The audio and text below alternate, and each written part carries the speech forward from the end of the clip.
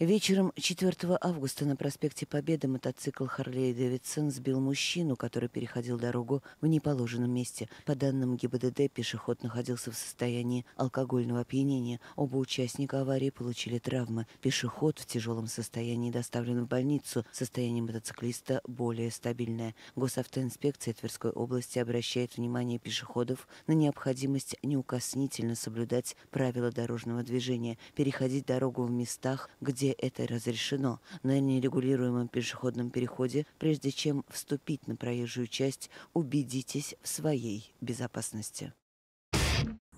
Поздним вечером 4 августа многих горожан взволновал столб черного дыма в Заволжском районе Твери. Случился очередной пожар на территории бывшей химбазы Министерства обороны. Загорелся один из ангаров, используемый под пилораму. К месту пожара прибыли расчеты нескольких пожарных частей города. По данным Главного управления МЧС, общая площадь возгорания составила почти 450 квадратных метров. В огне пожара никто из людей не пострадал. Около 23 30 пожар был ликвидирован.